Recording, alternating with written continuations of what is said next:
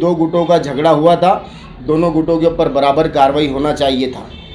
बेगुनाहों को पुलिस सलाखों के पीछे डाल रही थी। एडवोकेट खिजर पटेल साहब ने मजलिस इत्यादुलमसलिमीन के तरफ़ से तमाम रिहा होने वाले बच्चों का केस बिल्कुल मुफ़्त में बिला मुआवजा लड़ा है।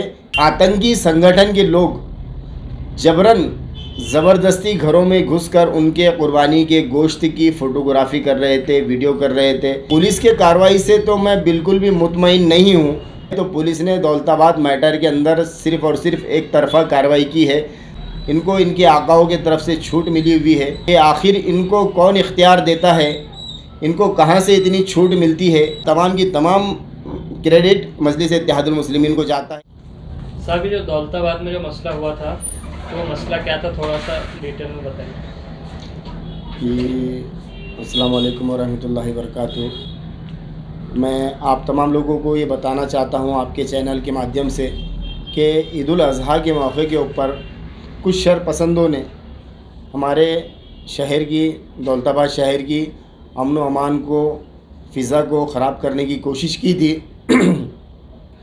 इस बात को लेकर दो गुटों में झगड़ा हुआ।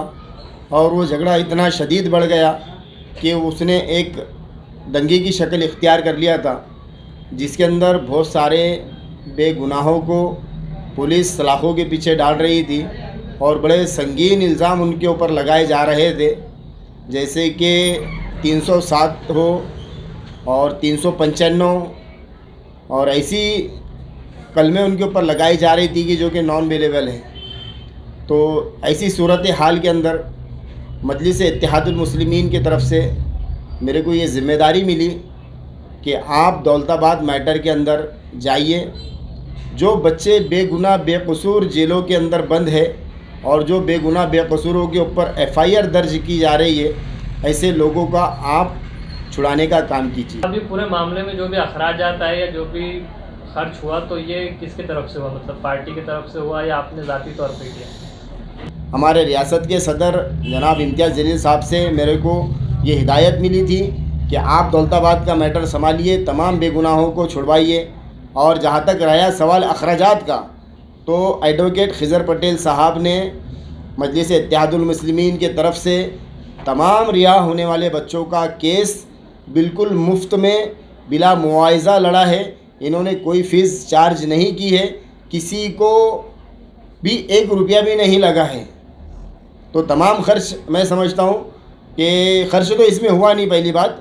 खर्च इस वजह से नहीं हुआ क्योंकि एडवोकेट साहब का ही मेन रोल था आ, कि ज़मानत करवाना। तो उन्होंने किसी तरह का कोई पैसा नहीं लिया है।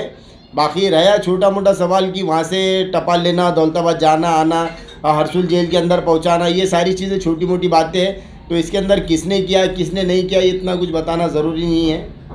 तो ये तमाम क्रेडिट और ये तमाम जो मेहनत हुई है और जो तमाम बच्चे रिहा हुए हैं इनका तमाम की तमाम क्रेडिट मजलिस इत्तेहादुलमुस्लिमीन को जाता है तमाम कॉरपोरेटर्स को जाता है रियासत के सदर इम्तियाज़ जलील साहब को जाता है।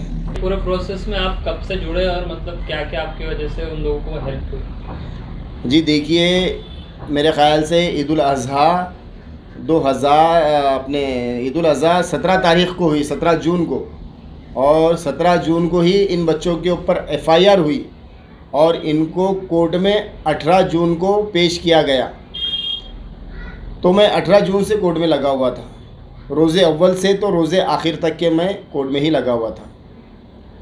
ये जो पूरा मामला हुआ तो इसकी क्या बड़ी वजह क्या देखते हैं आपके कहाँ से शुरू हुआ ये मामला? जी देखिए हमारे पास में जिस तरह से मालूम आई है उसमें ये बताया गया था अब सच्चाई कितनी है, ये मैं आपको नहीं बता सकता, लेकिन जिस तरह से मालूम मिली थी शहर वासियों के तरफ़ से, कि कुर्बानी के रोज़ कोई आतंकी संगठन के लोग जबरन ज़बरदस्ती घरों में घुसकर उनके कुर्बानी के गोश्त की फ़ोटोग्राफी कर रहे थे, वीडियो कर रहे थे, कुछ लोग नारेबाजी भी कर रहे थे तो इस बात को लेकर मुसलमान गुस्सा हुए कि मुसलमान की माँ बहनें जो है तो पर्दे का अहतमाम करती है पर्दों के अंदर रहती है और इस तरह से बिना बताए किसी के घर में घुस जाना ये बड़ी शर्म की बात है। मैं इस वक्त के ऊपर पुलिस प्रशासन से भी ये सवाल करता हूँ कि आखिर इनको कौन इख्तियार देता है? इनको कहाँ से इतनी छूट मिलती है? ये जो आतंकी संगठन के लोग आप मुख्तियार बनकर कभी जान, जानवर की गाड़ी पकड़ लेते हैं किसी के घर में घुस जाते हैं किसी को जबरन जे जे एस आर का नारा लगा लगाने लगाते हैं तो इनको ना पुलिस का डर है ना क़ानून का खौफ है। इनको इनके आकाओं की तरफ़ से छूट मिली हुई है ऐसा मैं समझता हूँ। दौलताबाद पुलिस और अदालत की तरफ़ से जो भी कार्रवाई हुई तो उससे क्या मुतमिन है आप? ये देखिए पुलिस के कार्रवाई से तो मैं बिल्कुल भी मुतमिन नहीं हूँ। हाँ कोर्ट के फ़ैसले से मैं बड़ा मुतमिन हुआ हूँ। और बड़ा खुशी की भी बात है कि अदालत ने हमारे साथ में इंसाफ किया है। पुलिस की अगर हम बात की जाए तो पुलिस ने दौलताबाद मैटर के अंदर सिर्फ़ और सिर्फ़ एक तरफा कार्रवाई की है। सिर्फ़ और सिर्फ़ मुसलमानों को गिरफ़्तार करने का काम किया है।